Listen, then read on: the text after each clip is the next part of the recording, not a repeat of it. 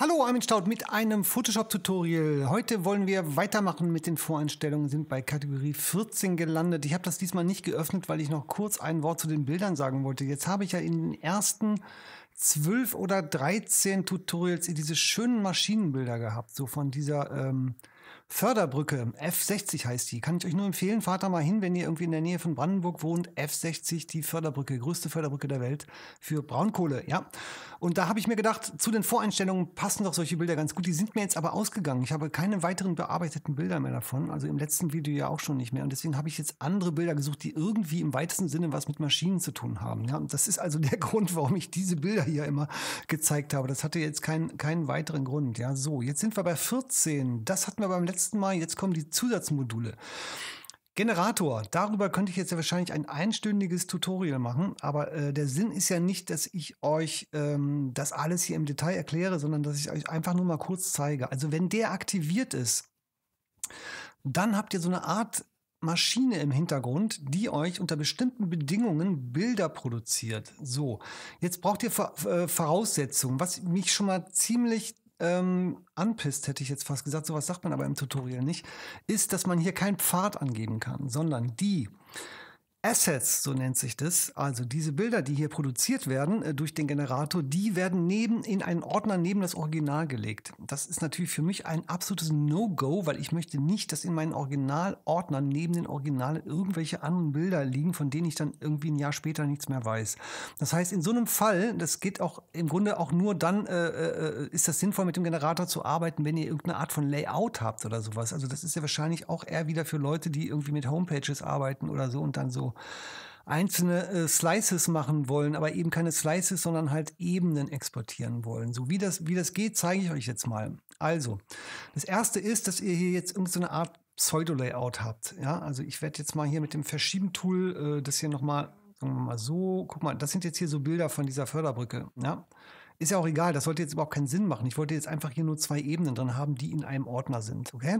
So, jetzt äh, der zweite Schritt ist, wir haben, also der erste Schritt war, wir haben das in den Voreinstellungen aktiviert, den Generator. Der zweite Schritt ist, dass ihr das hier scharf schalten müsst. Und zwar geht das erst dann, wenn Build Assets so ein Häkchen hier hat. Also jetzt wäre es zum Beispiel aus und jetzt ist es wieder an. Okay. So, und in dem Moment, wo ich jetzt einer Ebene einen Namen gebe, wo hinten ähm, warte mal, GIF, PNG oder JPEG dran steht. Also Punkt JPEG. Ja, also in diesem Moment wird sofort ein Bild produziert. Ja, und, und zwar ist hier das Original ja, das ist das TIFF. Und hier ist jetzt ein Ordner mit dem Namen des Originals und Assets hinten dran erzeugt worden. Und hier ist jetzt dieses JPEG drin. Und zwar nur von dieser Ebene. Okay? So, und jetzt kann man, jetzt gibt es hier quasi nur ein Ordnungstool. Das ist nämlich das, wenn man jetzt, sagen wir mal, zwei Ebenen in einen Ordner tut und dann diesen Ordner umbenennt. Jetzt schreiben wir da hinten mal PNG dran. Dann müsste jetzt in diesem Moment sofort hier ein PNG äh, äh, gemacht worden sein. Ja, und zwar sagen wir mal jetzt ein PNG, wo dieser Abstand hier ist. Jetzt ändere ich mal diesen Abstand. Ja, gehe hier wieder zurück, gucke mir das PNG an. Jetzt habt ihr gerade noch gesehen, wie das erzeugt wurde und das äh, wird quasi jetzt live überprüft. Ja, also es wird jetzt live überprüft, was ich jetzt mit meinen benannten Ebenen mache. Alle anderen, die nicht benannt sind, ähm, die kommen da nicht mit rein in, in diese Generatorgeschichte. Ja, allerdings, wenn ich diesen Ordner umbenannt habe, dann kann ich die hier ganz viele Sachen reinmachen. Also das, sonst könnte ich die auch gar nicht bearbeiten. Also wenn ich jetzt zum Beispiel hier eine Gradationskurve reinmache und mache die ganzen Sachen jetzt, ja, wir müssen mal irgendwas machen, was man jetzt deutlich sieht auf dem Schreibtisch. Ja, ich mache die jetzt mal ganz rot. Dann müsste jetzt dieses PNG in dem Ordner, das müsste jetzt, die müssten jetzt ganz rot sein. Ja, die sind jetzt sind die ganz rot. Das heißt, man kann dann schon äh, die Bilder auch noch bearbeiten und verändern. Ja, und solange diese diesen Namen haben, werden immer wieder neue JPEGs, PNGs oder GIFs produziert, ähm, solange das hier scharf geschaltet ist und da hinten diese Endung dran ist in den Ebenen. Das ist im Grunde schon alles. Jetzt kann man darüber natürlich noch viel mehr sagen, wenn man sich damit auseinandersetzen will, aber das könnt ihr ja dann im Detail auch mit irgendwelchen anderen Tutorials machen. So, jetzt gehen wir mal weiter im Text. Zusatzmodule. Dann gibt es sowas wie Remote-Verbindungen. Ähm das ist jetzt eine Sache, da kann ich euch nur sagen, lest es euch bei Adobe durch, weil hier geht es darum, dass ihr Photoshop mit drei verschiedenen Programmen verbinden könnt. Ich suche euch das mal eben raus. Ja, das ist die Hilfeseite. Also wenn ihr auf der Adobe Hilfeseite seid, dann könnt ihr dort oben einfach hier Remote-Verbindung eingeben und kommt dann sehr schnell hier zu diesen sogenannten Companion Apps. Und Companion Apps, da gibt es drei Stück von. Das ist irgendwie Adobe Nav, Adobe Color Lava und Adobe Easel oder so ähnlich, ja. Und diese drei Programme, die, mit denen könnt ihr quasi auf einem iPad oder so äh, Photoshop steuern oder damit malen oder was auch immer machen. Ja, dafür ist diese ganze Geschichte da. Ich habe das noch nie gemacht und ich fände das völlig blödsinnig, wenn ich jetzt eine Sache, von der ich jetzt überhaupt keine Ahnung habe, einfach hier durchlese und aus dem Kopf dann wieder referiere, ja. Also wenn ihr solche Programme habt, oder damit experimentieren wollt, dann lest euch das einfach hier durch und probiert es aus und dann könnt ihr mir eure Erfahrungen beschreiben. Am besten kommt ihr einfach ins Pixel Nerd Forum und dann könnt ihr da einen Artikel drüber schreiben und dann sind wir alle klüger. Alle Filtergalerie-Gruppen und Namen anzeigen. Das ist jetzt ausgestellt. Ja, so, jetzt gucken wir einfach mal hier in die Filter. Äh, das ist ausgestellt. Warte mal.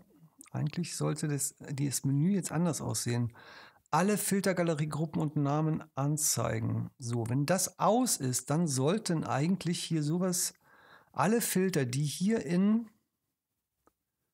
wo ist denn der jetzt, die jetzt hier in der Filtergalerie sind, alle Filter, die jetzt hier in der Filtergalerie sind, die sollten jetzt eigentlich hier im Menü nicht mehr auftauchen. Ich habe das eben mal ausprobiert, aber jetzt klappt das nicht mehr. Vielleicht liegt das daran, dass ich den Generator anhab.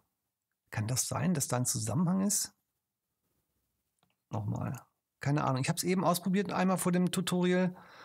Äh, und da war das so. Ich habe das ausgemacht und dann waren diese Filter waren weg. Ja, jetzt sind sie weg. Komisch, oder? Äh, ist das jetzt ein Bug oder habe ich was herausgefunden? Also ihr könnt es ja zurückspulen. Ihr seht, eben waren die noch da mit ausgeschalteter Funktion und jetzt sind sie weg.